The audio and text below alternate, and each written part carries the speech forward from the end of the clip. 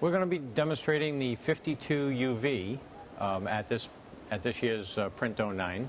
We had shown the press uh, just recently at Drupa, and has generated have generated a lot of excitement. We have presses, UV presses, running currently um, in Canada um, at a book printer, and in Korea, and then several in Europe. And we'll be demonstrating that. M many customers today want to reduce the uh, the lead time to work and turn or post uh, post press binding. Uh, and the UV really does help with that application. Plus, it gives them the flexibility for lots and lots of different substrates, those of which are very difficult to print on if you're not printing in a UV environment. One of the things that the uh, one of the attributes of the DI that's very significant is the fact that it's 300 line screen, a 16 micron dot, and it holds very very tight register.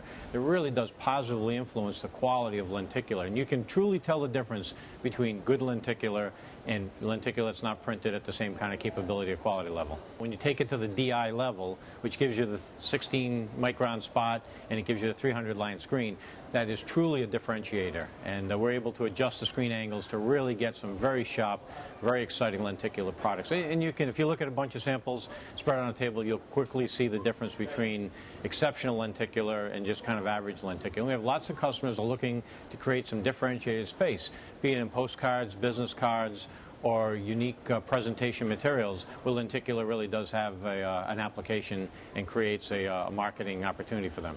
The aqueous coater on the uh, DI opens up the marketplace for those true commercial printers that have looked for a coating uh, requirement in the past and have done it either offline or done it on traditional uh, sheet-fed presses. Now the DI, you can encompass the capability of the DI, the quick make ready, the very effective print quality, and then you can put the aqueous coating on through a gripper program so that you don't ever release the sheet so we can get spot coating as well as flood coating gives us that combination. And it really has a true commercial application. So we see this again as broadening our marketplace.